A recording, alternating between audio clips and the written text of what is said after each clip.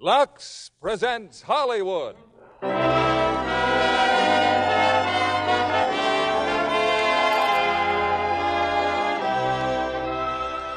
Lever Brothers Company, the makers of Lux Flakes, bring you the Lux Radio Theater, starring Lana Turner, Van Heflin, and Peter Lawford in Green Dolphin Street.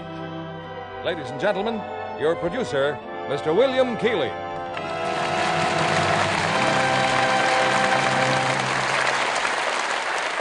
Greetings from Hollywood, ladies and gentlemen. This is a special occasion in the Lux Radio Theater. Special because we're bringing you the star you've asked for so often in recent months. That star is the glamorous Lana Turner. And to make the evening perfect, we present her with two co stars. One is a longtime favorite in this theater, Van Heflin, and the other is the new box office attraction who makes his first appearance here tonight, Peter Lawford. The play is Metro Goldwyn Mayer's spectacular screen success, Green Dolphin Street, in which Miss Turner and Van Heflin play their original screen roles. Based on the best selling novel by Elizabeth Goudge, it's a panorama of adventure set in the last century and one of the most dramatic love stories among recent motion pictures. It always pleases us when we can bring you stars you've asked for in your letters. Letters which so often tell us how useful you found Lux Flakes in your home. Lux Flakes is a star performer and makes possible a star performance like Green Dolphin Street. Here's the curtain for Act One, starring Lana Turner as Marianne, Van Heflin as Timothy, and Peter Lawford as William.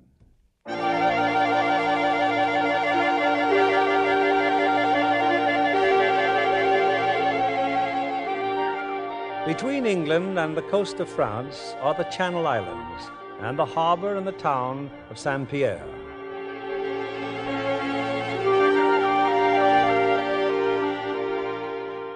It's a hundred years ago.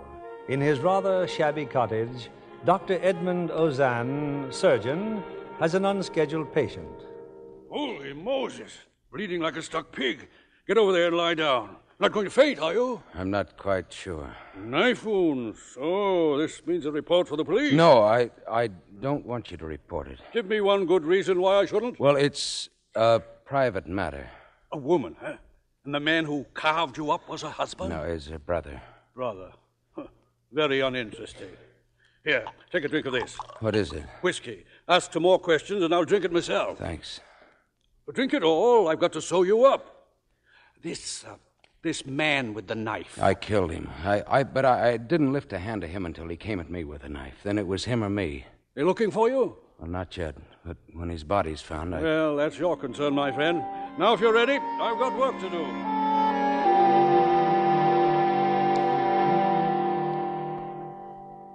Uh, I've been asleep. How long? You gave me something to make me sleep. Ungrateful wretch, of course I did. How far do you think you'd have got if you hadn't had some rest? I'm sorry. What, what time is it? Ten o'clock? Who have you told about me? No one. When I came here this afternoon, there was a young man who opened the door. My Who- son. Oh. Don't worry. William won't talk. What made you come to me? I'm new in St. Pierre. Oh, didn't you know? Maybe that's why I came. This uh, man you Well, killed. he was a he was a fisherman. Bartolo. His, sister told him that I promised to marry her. He chose to believe her. Ah, but the lady of your choice is someone else. This afternoon, before I fell asleep, you you had visitors. I heard them. Two pretty girls, friends of my son. The Patourel girls from Green Dolphin Street, Marguerite and and Marianne. You know them? What did you, mean? What did you mean? Uh, friends of your son? Is is he going to marry one of them? Marry? My son? The richest girls in the island? Well, I've seen them together. He was with Marianne yesterday on the shore. Oh, I see. You're in love with her yourself, huh? I don't believe I've spoken 20 words to her in 10 years. She's passed my shop. I've said good morning, but she doesn't even know I exist. She'll know when they hang you. Or maybe they won't if I can get away tonight. How? Well, there's a ship in the harbor. It leaves tomorrow for New Zealand. Here. It's all the money that I have. Ten pounds? I'll take six shillings, including the glass of whiskey. No, I'd, I'd feel better if you took it all. And how do you think I'd feel? I'll get out of here. I'll never forget you, Dr. Ozanne. Thank you.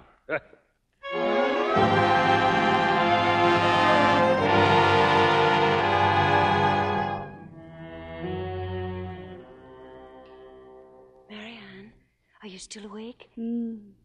I've been thinking, Marguerite. Marianne, not not about that terrible murder. Oh, why would I think about that? I've been thinking about that ship in the harbor. Oh, it's the most beautiful ship I've ever seen. Tomorrow morning I'm going aboard, if they let me. Marianne, I- I've been thinking too. Is it possible to fall in love with a man you've known only five days and seen only three times? Yes, I think it is. That means you're in love with William Ozanne, too. No, but I could be in love with the man he could be. Oh, isn't it wonderful that Dr. Ozanne should come back to Saint Pierre after all these years? Well, it's more wonderful that he has a son as handsome as William. Marianne, whichever of us he chooses, if he should choose one of us, oh, Marianne, it must never make any difference between us. Nothing ever could or ever will. But how could William not fall in love with you? You're so so striking, and and you have a brain. Ah, but you're the beauty of the family, darling. I wonder if William would want to see that ship tomorrow. Why don't you ask him? Yes. Yes, I think I will. First thing tomorrow morning.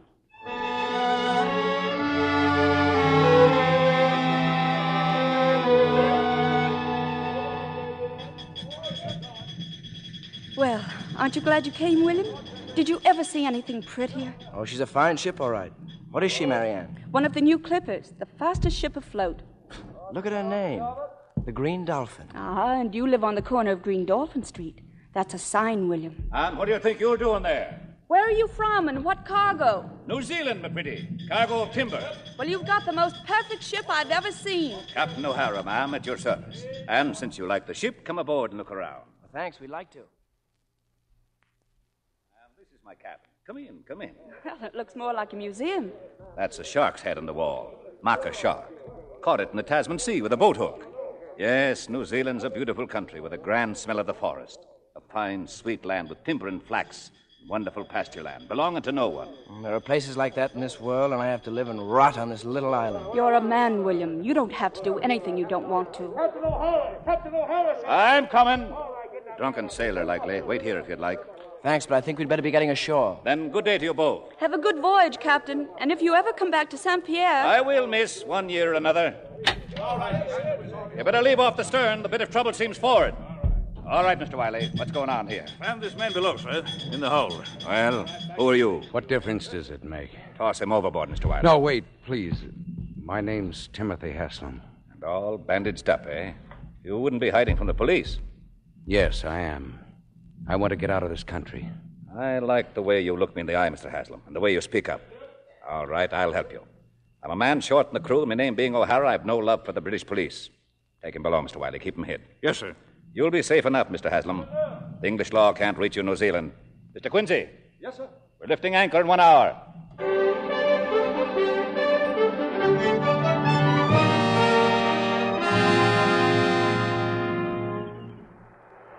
Oh, I can still see her, William. The green dolphin, full sails, flying like a hawk out to sea. I believe Marianne's fallen in love with that ship. She's talked of nothing else all day. Well, then let's talk about William. Ah, yes, indolent, good for nothing William. After all, a, a man must have some sort of a career. I've told you I'm thinking everything over. Perhaps I'll be a sailor on a clipper ship, like the Green Dolphin. Oh, no, not on a clipper ship, William. You're going into the Navy. Really? Yes, to be an officer and a gentleman. And I'm quite serious. Now I'll be serious. I've thought of the Navy a hundred times. But my name is Ozanne, and not Patourel. It takes money and influence. And suppose someone found a way to provide the money and the influence? No, that's just talk. Who? My father. Marianne! Oh, how wonderful, Papa, of course. And do you suppose that my father would permit that? I know he'd permit it, if it were for your good. Well, the mere idea seems to make you both exceedingly happy. And you want us to be happy, don't you, William? Oh, I'm a bad risk. Your father knows it. He's a clever man. And I'm my father's daughter. I'll talk to him tonight. I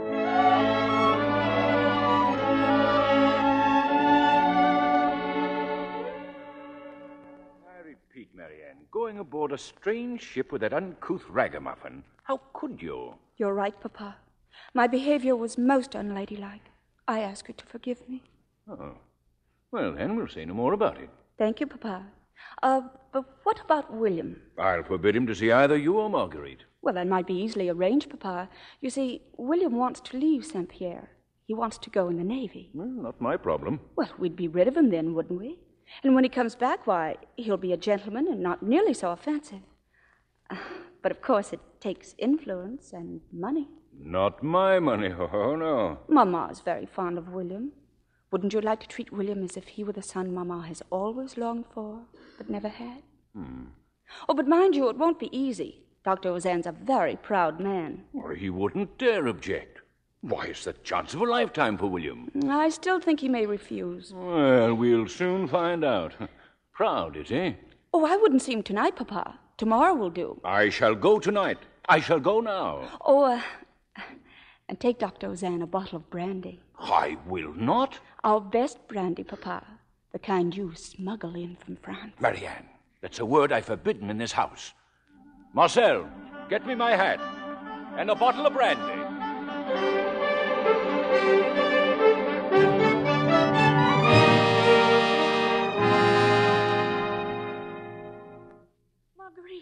Aren't you coming down to the harbor? The Orion's been sighted. William's coming home. Well, of course I'm coming. I, I'm just writing in my diary. He's been gone two years, and you have to write in your diary. Well, I'm not going to wait for you. And today, William is coming home. How slowly the time has passed since he left for England and the Royal Navy College. But now, at last, William is home again.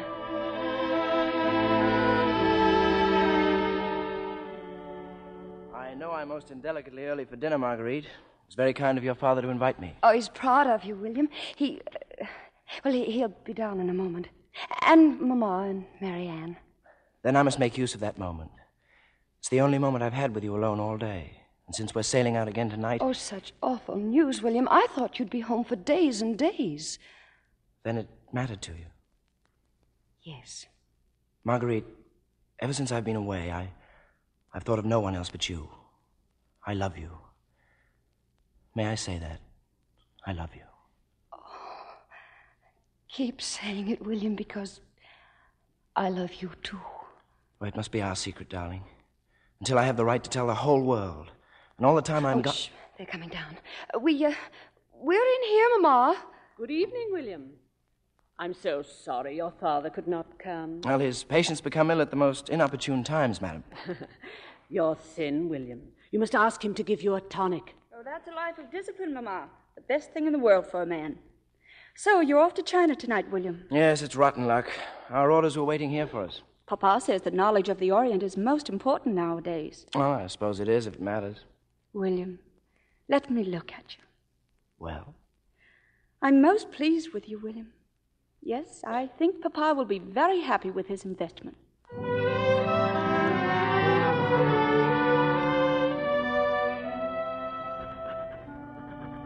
It has been weeks now since William kissed me goodbye.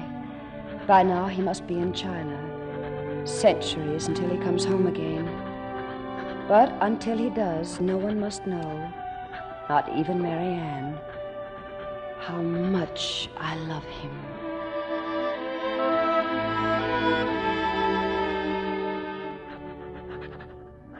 I'm writing this letter from a little shop in Hong Kong. By coincidence, the Green Dolphin is also in the harbor, and I hope to see Captain O'Hara shortly. Wait for me, Marguerite. This little necklace will say I have always loved you. And when I come home, I will ask your father for your hand in marriage.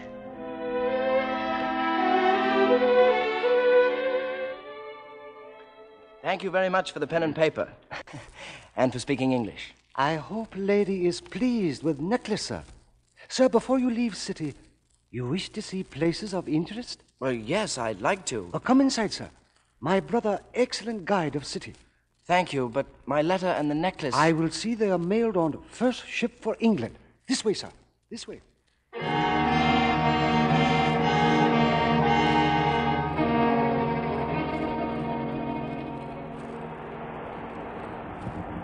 Makes sense, Mr. Wiley. What the devil are you trying to tell me? That there's a man in your cabin, sir. Naval officer.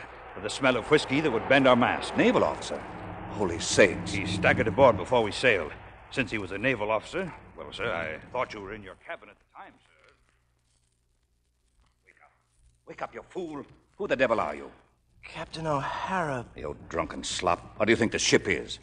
You you don't remember me, Saint Pierre? What's that? Oh, yes. You were with that beauty, the Patourel girl. What are you doing here?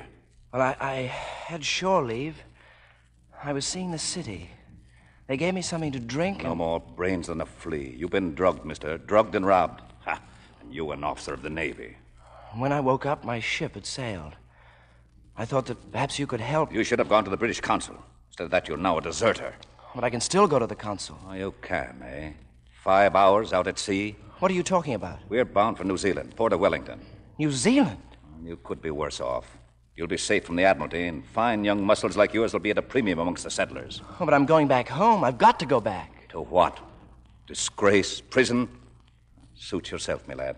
You've a long voyage to think it over.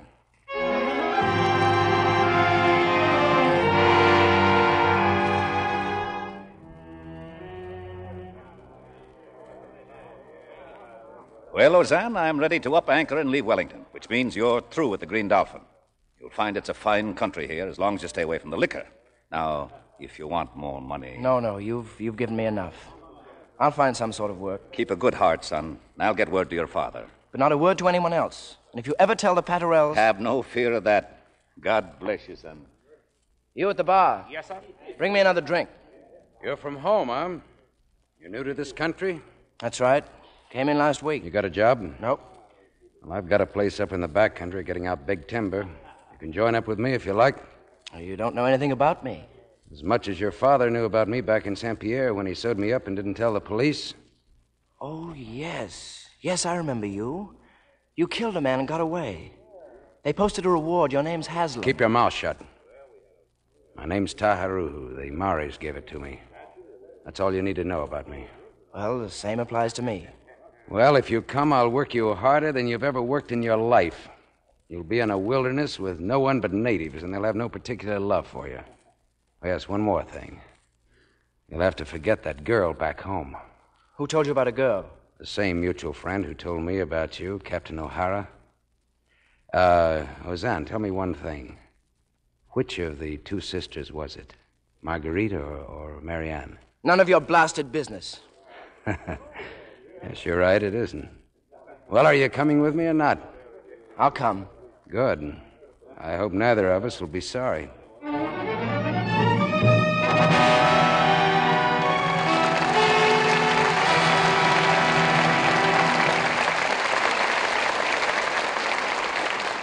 Our stars will return with Act Two of Green Dolphin Street in a moment. You know, Libby, the way we associate a word or a phrase with an idea often tells psychologists what's on our minds. Oh? Suppose I say, top of the morning. What do you think of? that you should do better than that on your Irish brogue. Ouch. No, really. That typically Irish greeting makes me think of Paramount's delightful new picture. Of course, that makes me think of Bing Crosby. Shall I go on? You can't stop without mentioning how beautifully Bing sings You're in Love with Someone and the other wonderful songs. What a laugh provoking team he and Barry Fitzgerald make in Top of the Morning. With Bing as a big city detective and Barry a small town police chief. And Barry makes me think of Ann Blyth, who plays his daughter. She makes a beautiful Colleen, well groomed right down to her toes. Well, you know, Ann is like that in real life, too.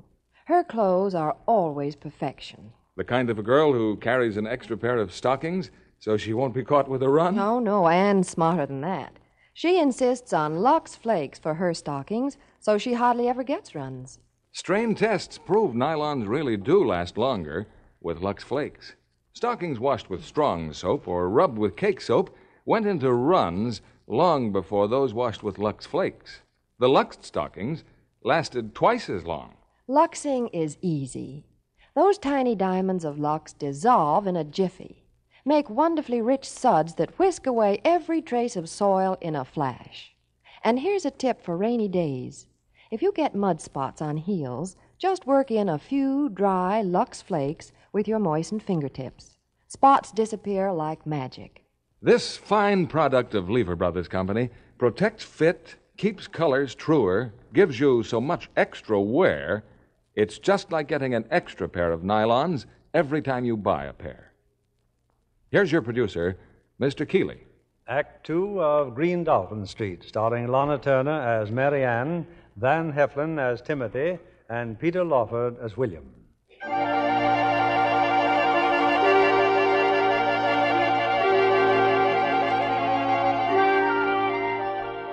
Over two years have passed.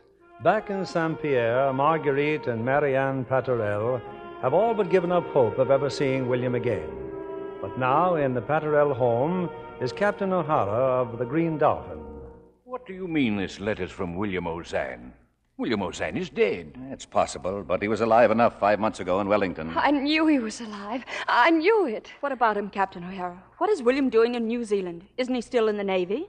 Due to an unfortunate incident, the lad severed his connection. Now, good day to you all.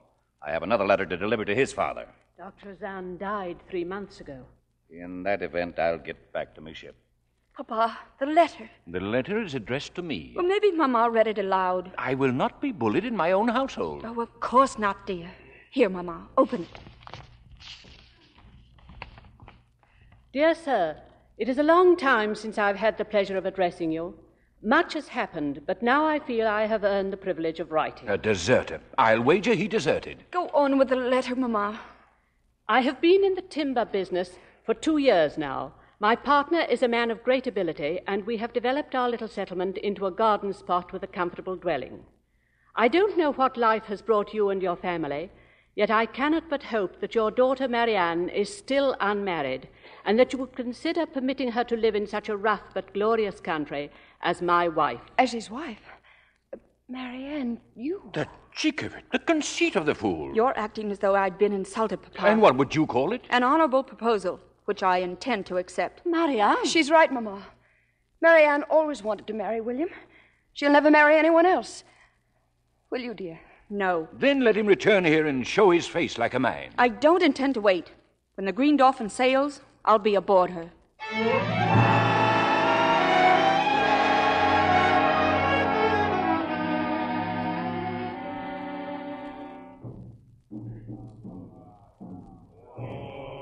Your native friends are at it again. What is it this time, Ty? Talk of war or just talk? The witch doctor has just told them that a letter you wrote was delivered today on the other side of the world. How could he know I wrote a. So you did write a letter, huh? Well, Yes, I wrote a letter. it's a little frightening, the things these natives seem to know. The uh, letter about a young woman, the Patourel girl? Suppose it was? I wrote it that time when I went to Wellington. I'd been drinking a lot, and I'd never have had the courage if I'd been sober. Which girl? I offered her marriage and a life like this. Which girl, I said? Marguerite, of course. Oh, Marguerite. I'd written her from China. I sent her a necklace. I told her that I. You think Marguerite will accept your offer? Oh, are you crazy? Of course not. For her own sake, I hope she's already married. Married or not, she'll uh, she'll get an answer, won't she? Well, I'm not counting on it. You don't know her father. The Green Dolphin should return in September. Let's uh, let's see that we're in Wellington, just in case.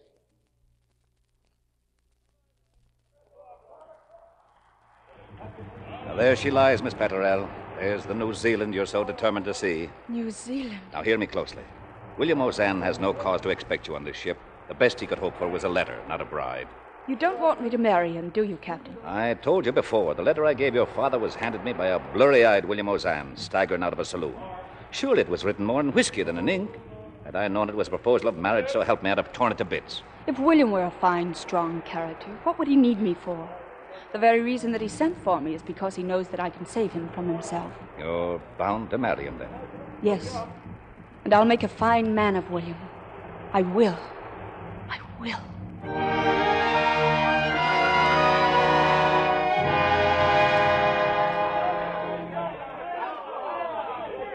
Well, it's here, William, the Green Dolphin. There's O'Hara out on deck. Where else would he be? He's not alone. There's a woman with him. What the devil are you. Oh, it can't be. She came, Marguerite. Look again. Marianne. It's Marianne. You stupid fool. Did you put the wrong name in that drunken letter? I don't know. I don't know. I must have. Well, what are you so upset about? Listen to me. Did she ever show any signs of being in love with you? Marianne? Oh, maybe she did, but, but I can't marry her. I'm not in love with her. Are you going to send a girl like that back home turned down by a young jackass too drunk to remember the right name of the girl he loved? No, you won't do that. She. She's looking for me. Yes, and she's going to find you. Go out there now and put your arms around her and make her feel that you want her. And remember, her name is Marianne. Don't worry. I'll go through with it. Marriage and all.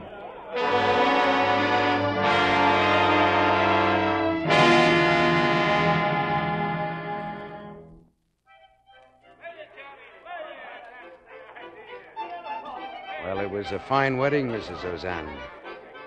There's an inn across the way. It's not too fancy, but I think. Thank you. Mr. Haslam. Oh, you know my name. Williams told me all about you. Imagine meeting a man from home. I thought I knew everyone in Saint Pierre. You've nodded to me on occasions. You don't like me, do you, Mr. Haslam? I'm just anxious about you. Why?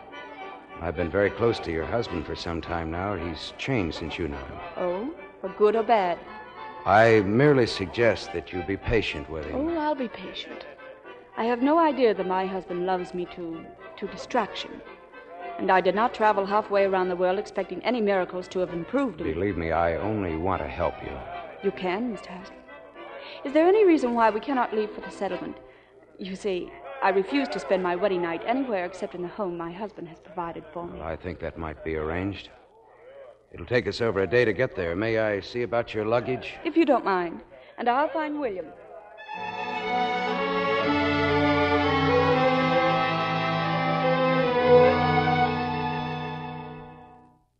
Oh, it's amazing, Marianne, what you've done with this house in a few short months. But you should let the natives help you more. I shall, William, after I've mastered their language. You really like it here, don't you? A wilderness filled with savages, a house built of logs, no companions, no nothing. I have you, William. As for companions, I can always talk to Mr. Haslam. And you don't miss home. Oh, but you must. Your parents, Marguerite. Marguerite. Do you realize you haven't mentioned her name since the day I arrived in Wellington? Uh, haven't I? Uh, tell me about her. Oh, she's well. But like so many beautiful women, she's become spiritually lazy. I don't understand Marguerite. She's had so many offers, but I don't believe she's been able to summon the necessary emotion. There was a time, William, when I thought Marguerite was waiting for you. Uh, really? Well, what made you think that? May I come in? Oh, please do, Mr. Haslam. Oh, William, we can start loading the wagons tomorrow. With any luck, you can leave for the coast in another week. Tell me, whose idea was it shipping timber overland in those slow, heavy wagons? Why, Ty's idea. It's the only way to move timber.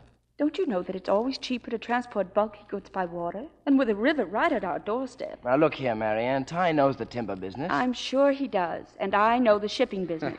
well, is that so funny, Mr. Haslam? no, not at all. I'm. I'm just laughing at my own stupidity. You should build barges. Float your timber down that river to the sea. Well, I'm sure it's quite possible. What do you think, William? We could try it. Well, it'd take weeks to build them. Meanwhile, the natives can still be cutting timber. Actually, you'll lose very little time. Well, it's up to you, Ty. well, let me see if I can design some sort of a barge. We can talk some more at dinner time. Thank you, Mr. Haslam.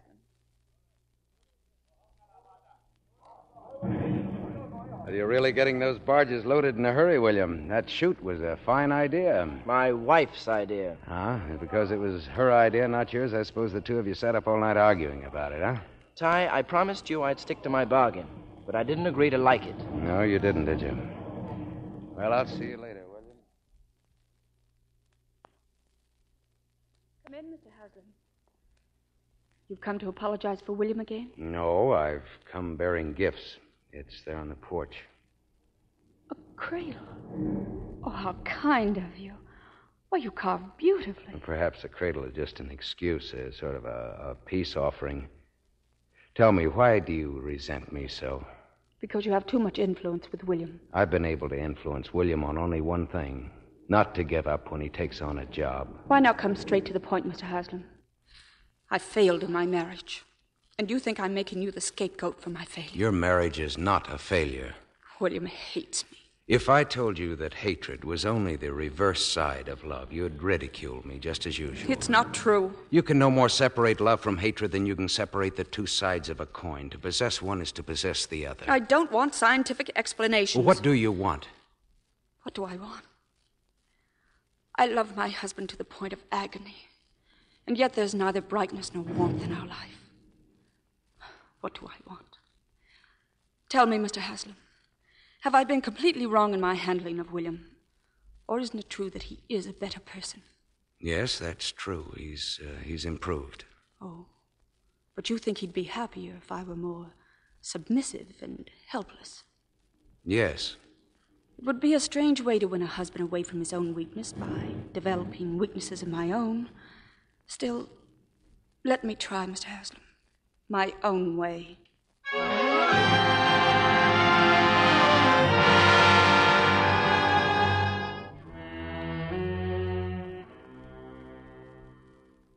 Well, the barges are loaded, Marianne. When. When do you plan to leave? Oh, we should be ready in two days. Tell me something, William. Have. Have I been a bad influence on you? Uh, no man could have a better wife. But we haven't got along. You know that as well as I do. Perhaps. Perhaps the baby will help when he comes. Oh, William, let Mr. Haslam go with the barges. Please stay with me. Cutting the timber is Ty's job. Taking it to market is mine. William, what's happened to us?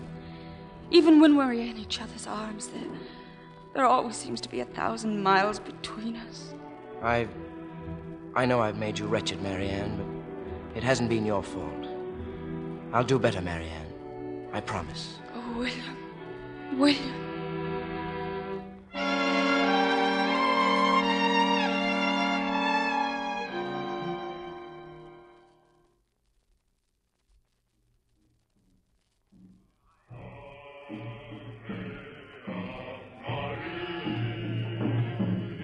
Well, there go the barges.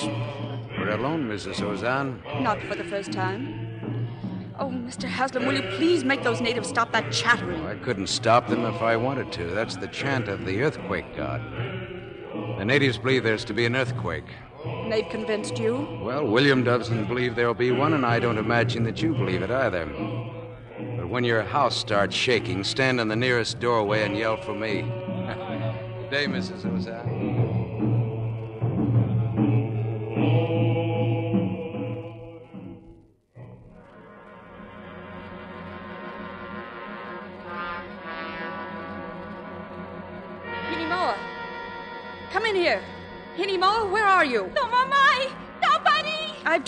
Speak English. What have I been teaching you for? I sorry, Mom! Now, what's going on out there? Why have the men stopped working? Earthquake come, Mom! All go to mountain to make prayer to God! I've told you exactly what to do in case an earth. Mom!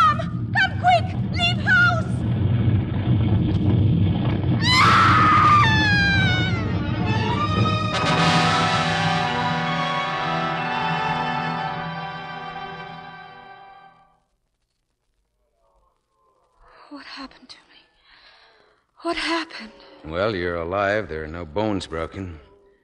I had to bring you here. It appears that my house is the only place left standing. William. What about William? Well, they had three hours start down the river. Maybe they escaped the whole business. Anyway, you're to stay where you are, in bed. Oh, my son. I shall lose my son. You'll have your son. No, no. It's too soon. Oh, Ty, please. Try to get a doctor. It'll be impossible to get out of here for days. The whole forest's been ripped to shred. There's fire and there's flood. Besides, this isn't a country where a doctor lives on the next street. My son. I thought at least I would. Marianne, have- listen to me. You'll have your child. Hinimoa's all right. Between the two of us, we'll be able. No, no, no. There's no choice but to trust me. Remember, it was you who chose this life for yourself. I trust you. I will try to give as, as little trouble as possible. That's better. We all may be dead by morning. Meanwhile, we'll do our best to keep alive. May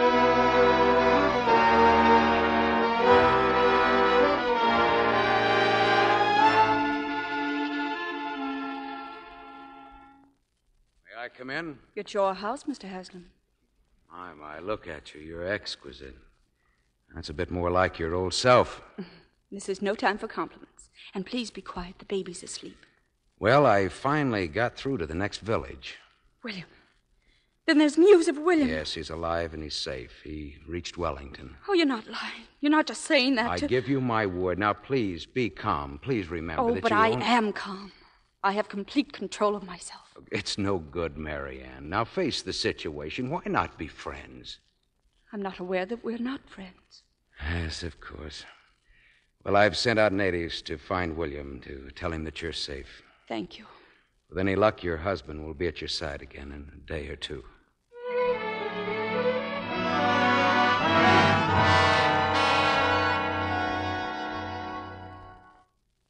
Came as quickly as I could, Marianne. Oh, my poor darling, what a time you've had. Oh, you're safe. You're here. The baby, Marianne. Ty told me. Where is he? In here, William. Only she deceived me. She's a girl. Oh, my daughter. You can tell that she's going to be fair haired. Look at those eyes. Yes. That's why I've named her Marguerite. Marguerite Veronica. We. We'll call her Veronica. Marianne, there was a letter in Wellington from Marguerite. Your mother and father. There was an epidemic. They died. Oh, no. No, but Marguerite, what of her? I have her letter here. She's been spending some time at the convent. Convent? Yes, it's hard to tell just what's in her mind. She seems dazed, bewildered. What should we do, Marianne? But the baby. We couldn't leave for home even if we wanted to. Is there anything left here? What does Ty say? Oh, he doesn't have to say. You must have seen for yourself. Everything's lost. Everything. But we have ourselves, William. And we have our child. We'll begin again. We'll begin again and we'll do better. Yes. Yes, I think we will.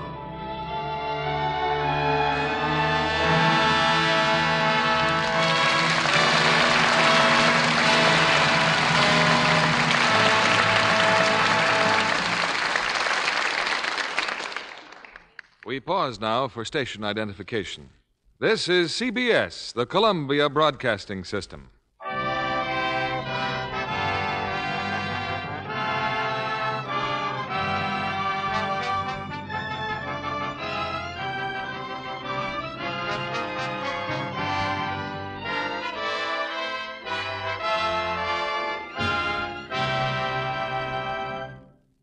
Metro Goldwyn Mayer cast a young actress in an important new Technicolor musical like That Midnight Kiss without even a screen test, well, she must have something.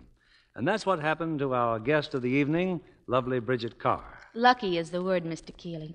It was a thrilling experience to work with beautiful Kathryn Grayson. She has a glorious voice and sings everything from opera to modern in the picture. José Iturbi, playing his famous self, makes a superb musical partner for Kathryn. And isn't Ethel Barrymore magnificent? Oh, it's hard to believe she celebrated her 50th year as a star recently. Quite a record for the brilliant new tenor Mario Lanza to aim at. But he got a fine start last week at the premiere of the picture in Philadelphia, his hometown. A musical romance with Kathryn Grayson would be any leading man's delight. She's really beautiful. Her costumes, especially for the opera scenes in that midnight kiss, are stunning. Why, even her nylons were embroidered. Sounds like gilding the lily. but I'm sure those nylons got the same gentle Lux Flakes care all the studio's nylons do. You're right, Mr. Kennedy. I was surprised how well they wore. They were so delicate. Not so surprising when you see the results of scientific strain tests, Bridget. Nylons washed with a strong soap or rubbed with cake soap went into runs long before those that were washed with Lux Flakes. Oh, I'm a Lux Flakes fan already, Mr. Kennedy. Then you know why Hollywood's most beautiful legs wear nylons washed with Lux Flakes. They fit better, last longer, and colors stay truer. These tiny diamonds of Lux whip into rich suds in a flash, freshen nylons in no time. Lux Flakes make nylons last twice as long. So it's just like getting an extra pair every time you buy a pair. Thank you for coming tonight, Bridget Carr.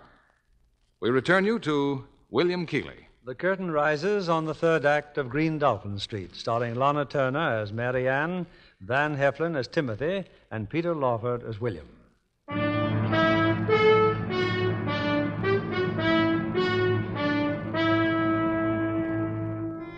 Seven long years have gone by. Seven years that have brought out of the devastation of the earthquake a measure of prosperity and happiness to Marianne and William Ozanne.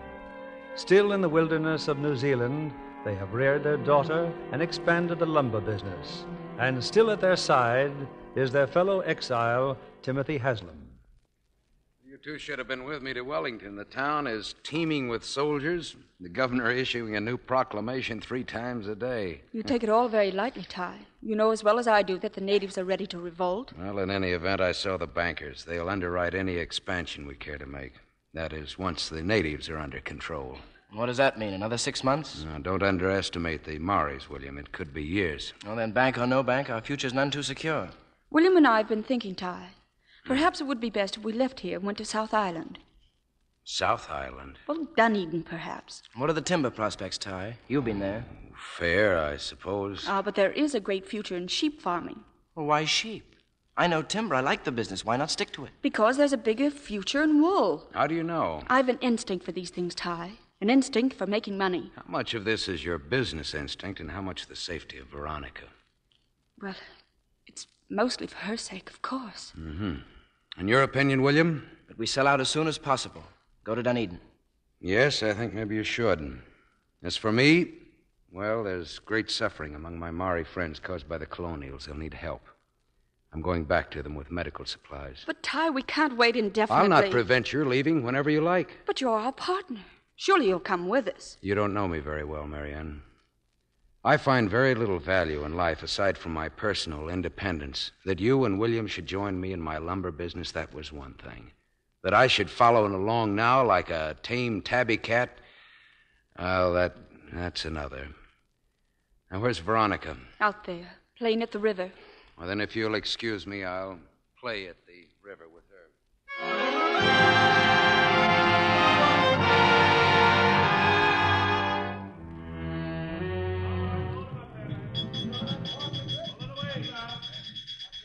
Have they deserted you already, Ty? William and Veronica? Well, Veronica couldn't wait to go aboard the ship.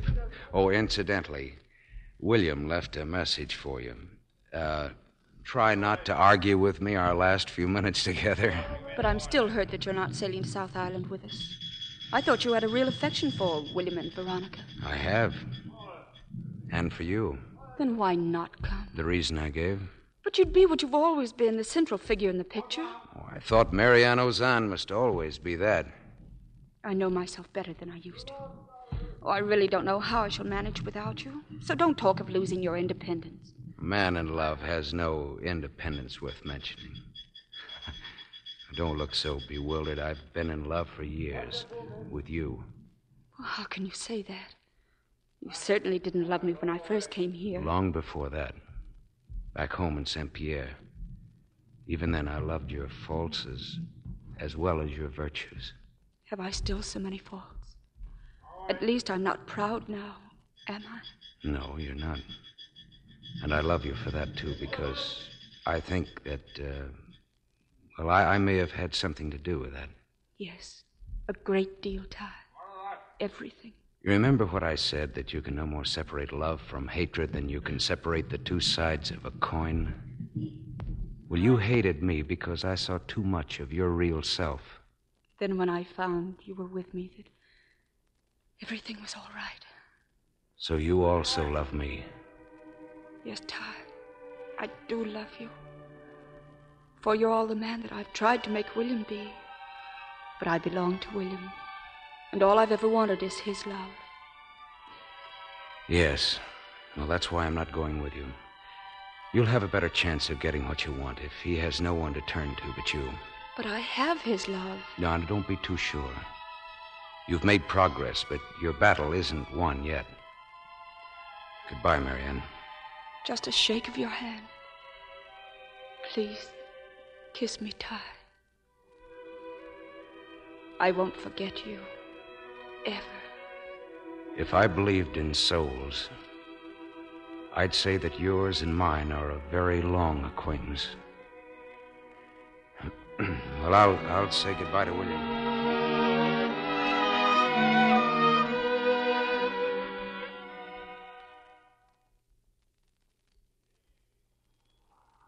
Look so sober, Ty. You should be glad to get rid of us. You know, I'd not have missed these years for anything. Not always happy years. You made a good job of Marianne. Most people would say she made a good job of me. No, only a fool could have made the blunder that you did, sending for her instead of Marguerite. But only a man could have saved her then from disaster. Disaster? Marianne? Yes, that's the best mistake that you ever made, William. You see, if you hadn't made it, I'd really never have known her.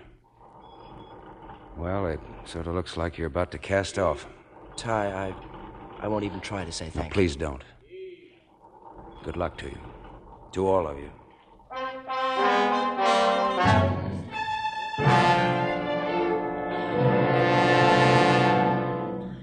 Oh, it's incredible, Marianne. Do you realize I stand to be the richest man in Dunedin? Oh, we should have come here years ago. Well, that's enough business talk for tonight. Where's Veronica? Asleep, I hope. Oh, she's very proud of her father, darling, and so am I. That was a wonderful speech you made at the assembly. Oh, only part of it was completely true. But whatever I may have accomplished here is entirely your doing. William, I.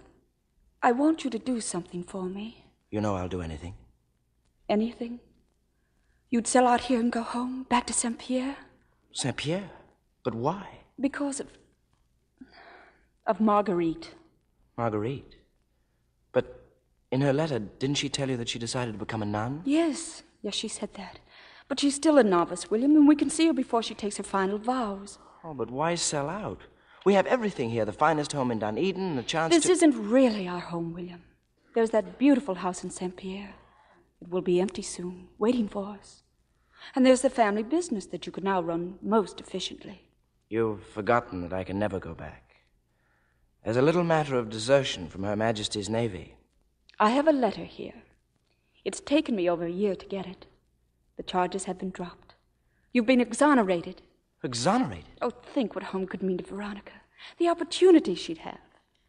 But mostly, William, it, it's Marguerite, my own sister. You never knew what it cost me to leave home, to come out to a new country, to marry you. Oh, I want to go home, William. I do so want to go home. I. I'll make arrangements immediately. Thank you, William.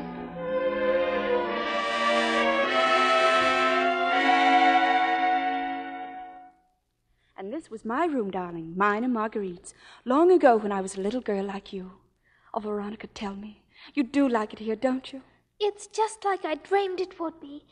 Oh, Mama, thank you for coming home. Tomorrow we'll go to the convent and see Aunt Marguerite. Oh, I'm sure the Mother Superior will let. Veronica, what's that you have? It's a necklace, Mama. See? I found it in Aunt Marguerite's desk. It was in this box. And I think there's a letter in it, too. Let me see that letter. I'm sorry, Mama. No, no, no. If I- It, it's all right, dear. Just give it to me. Wait for me, Marguerite. This little necklace will say I have always loved you. When I come home, I will ask your father for your hand in marriage. Will you? Mama, what is it? What does it say? It. It's nothing, darling.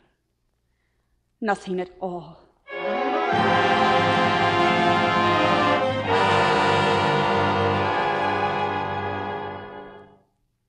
Marianne, what's wrong, dear? Is it Marguerite? You've heard from her? Yes, I've heard from her. Tomorrow she is to become a nun. It would seem we arrived just in time, William. I. I found this letter. Here, read it.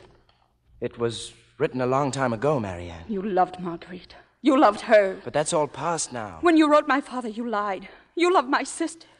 But you sent for me. Why? I. I'd hoped you'd never have reason to ask that question.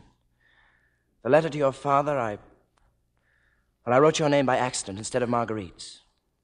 By accident. Then our whole marriage has just been a slip of the pen.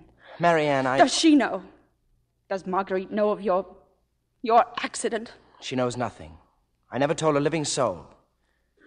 No. No, that's not quite true. I told Ty. I had to tell him. Ty. Ty knew that the only reason you. Oh, of course he knew. You would never have married me if he hadn't forced you into it. Would you, William? Would you?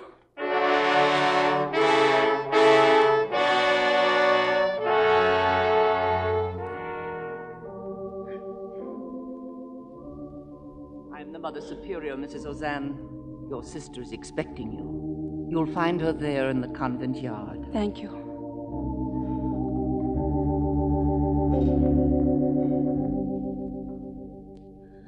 Oh, Marguerite. Marguerite. Oh, my dear. My Marianne.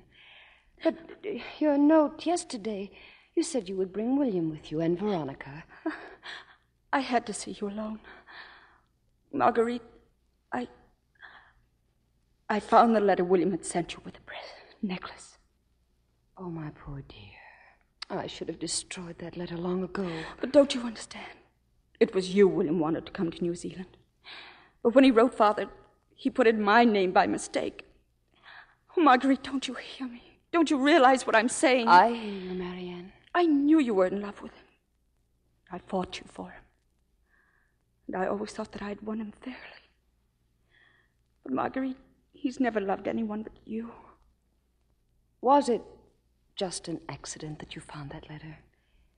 Perhaps there is less chance in life than we realize. Perhaps it was intended to bring out the truth at Look, last. When I think of what your life has been, the heartbreak. Do I look like a heartbroken woman? You're becoming a nun because William married me. And when you went away to marry him, there was nothing left for me, nothing. It was even worse after Papa and Mamma died. I came here in complete despair. But here, I found another life. Marguerite, can you ever forgive me? There is no question of forgiveness. There is nothing to forgive. Mrs. Ozanne, your husband is here. He wishes to see you. He loves you. I'll send him to you. No. Just tell William that I've outgrown the young, selfish love of a girl in her teens. That I've found here what I've been searching for all my life. Marguerite. Tell him this is the way everything was meant to be. And if I once was unhappy, today I am supremely happy.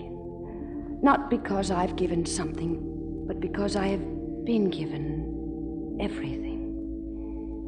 Tell him, Marianne, and then pray for me that I may be worthy as you are worthy.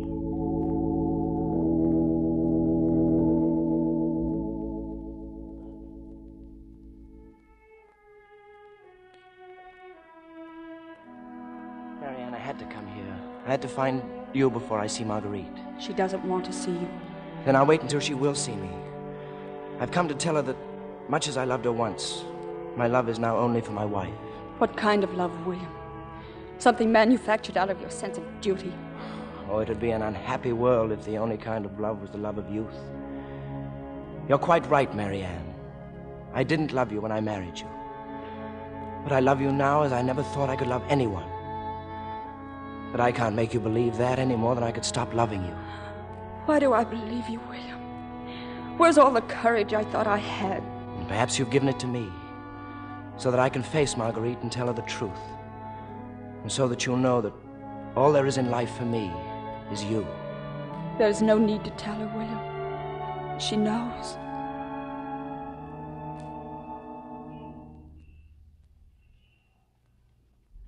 You. You're praying. She's giving herself to God.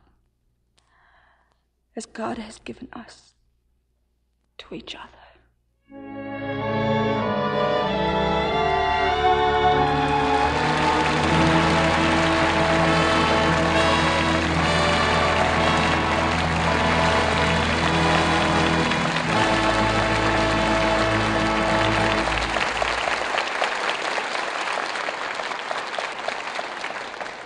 Our stars will return for their curtain calls in a moment. But first, Libby has a tip for everyone who loves flowers. And loves a bargain. Right now, it's time to plant tulip bulbs. So the makers of Lux Flakes are offering a thrifty shopper's special a rainbow tulip garden of eight, yes, eight giant prize winning tulip bulbs. All eight for only 25 cents and the top from a box of Lux Flakes. These healthy Darwin bulbs will grow anywhere, will make wonderful showy borders next spring. You don't even need a garden. If you plant them in pots, they'll bloom in the house this winter. In this special assortment, you get eight different shades, including the famous black tulip, La Noire. It's a real showpiece. This assortment is worth every penny of a dollar and a quarter. But you get it for only 25 cents when you include the top from a box of Lux Flakes. Jot down this address Lux Garden Club, Los Angeles 54, California. You can order as many sets of bulbs as you like. Just include 25 cents in cash and a Lux Flakes box top for every set of eight bulbs. And hurry, while planting weather is right. This offer expires November 15th, 1949. It's good in the United States, Alaska, and Hawaii, and is subject to state and local regulations. Here's the address again Lux Garden Club, Los Angeles 54, California. Send tonight, sure. The supply of bulbs is limited. Here's Mr. Keighley with our stars. Curtain time is especially exciting when we can bring back to the footlights such stars as Lana Turner, Van Heflin, and Peter Lawford, and here they are.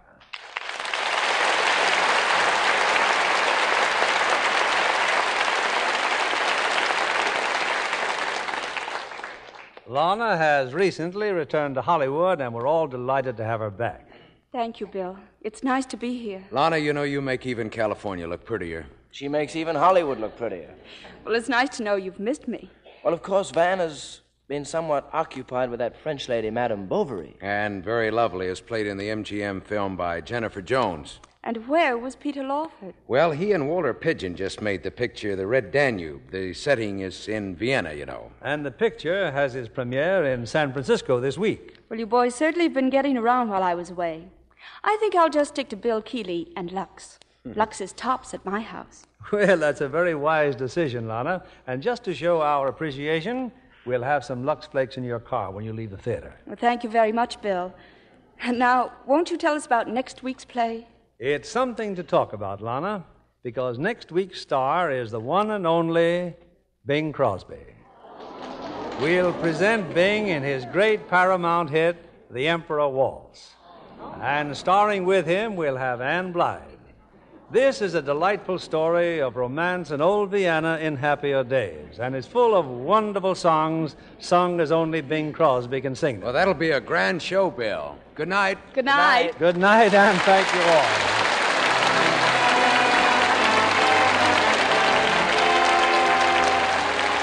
Lever Brothers Company, the makers of Lux Flakes, join me in inviting you to be with us again next Monday evening when the Lux Radio Theater presents Bing Crosby and Ann Blyth in The Emperor Waltz. This is William Keighley saying good night to you from Hollywood.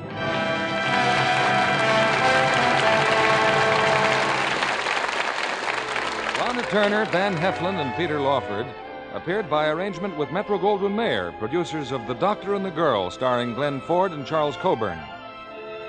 Heard in tonight's cast were Joan Banks as Marguerite, Ed Begley as Captain, Bill Johnstone, Doris Lloyd, Herbert Butterfield, Alma Lawton, Janet Scott, Marlene Ames, Howard McNear, Eddie Marr, and Tyler McVeigh. Our play was adapted by S.H. Barnett, and our music was directed by Louis Silvers. This is your announcer, John Milton Kennedy, reminding you to join us again next Monday night to hear The Emperor Waltz, starring Bing Crosby and Ann Blyth.